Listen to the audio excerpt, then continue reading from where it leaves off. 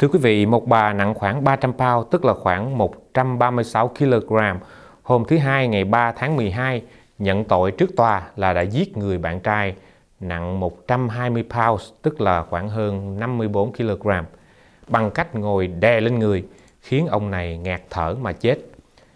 Giới hữu trách nói rằng bà Wendy Thomas, 44 tuổi, có lúc từng là người làm việc chăm sóc tại gia, thỏa thuận dàn xếp với công tố viện để nhận tội là đã giết ông Kino Butler, 44 tuổi.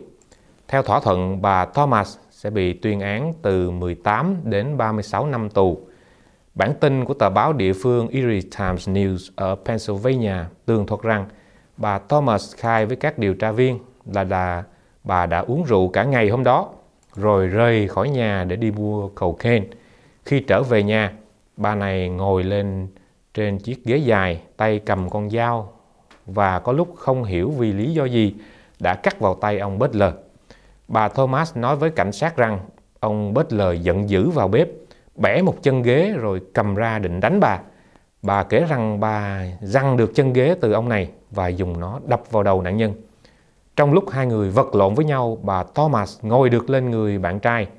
Kết quả giảo nghiệm tử thi nói rằng đây là một vụ sát nhân gây ra bởi tình trạng ngạt thở vì bị thương tích ở cổ, xương sống bị ép chặt và có vết thương nơi đầu.